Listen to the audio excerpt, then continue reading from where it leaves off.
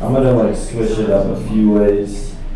Like in, in terms of funny, I didn't know about funny. You didn't say funny before. You asked me. So if it is funny, that's like really especially great because you know you do know. And uh, also the ex thing, I haven't had like a, a girlfriend girlfriend, so I don't, I don't really have like an ex ex. You know? So, so it's gonna be some different exes. And then um, I'm a I'm a rapper, so like everything I do is probably gonna be a rap. So, but I think it's funnier if you think of this like as a spoken word. All right. So it goes like this. X rated magazines had scenes of sex, and I was only 14 or 15 or maybe six. Teenagers couldn't purchase, so I resorted to theft. Walked in a tattered cover, and here's what happened next. I staked out my position and I plotted my attack. Surveyed them from a distance where they lay upon the rack. A penthouse and a playboy sitting side by side like plaques. I shuffled by and quickly lifted one each from their stacks.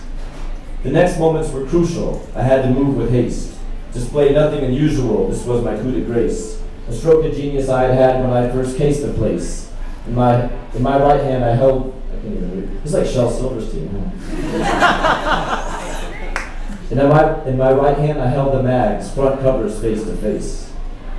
And thus I could roam freely, no alert to passers-by, of the presence of this seedy and perverted bastard child. That was me, I thought, unethical, but how it has to be, as I curled the magazines and stuffed them into jacket speeds. I found some deserted store corner where there'd be no suspicion. It was somewhere on the fourth floor, maybe in the science fiction. I held my jacket under arm with crumpled loose precision, walked out the door. No one was harmed. I'd accomplished my mission.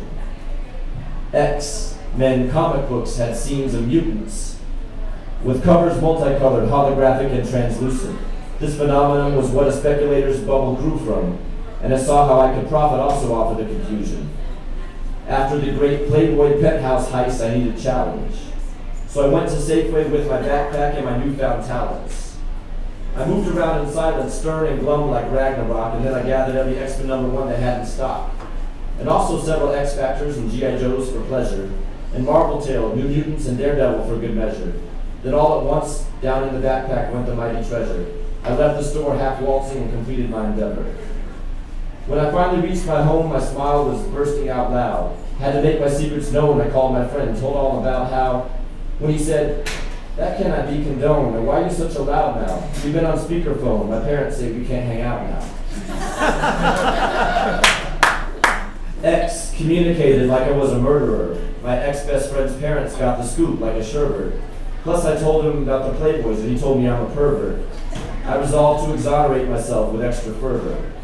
Exhume the stolen items and examine all my options. I had to try to escape the situation I've been boxed in. So I decided to take the same procedures and precautions and undo the damage done, recoup all my losses. The comic books I really didn't want, I took them back. I snuck them in and put them up again upon the rack. But some of them I wanted after all. I found them first. Plus those X-Men number ones, you never know what they'd be worth. So I devised a compensation plan that I could pull off easily.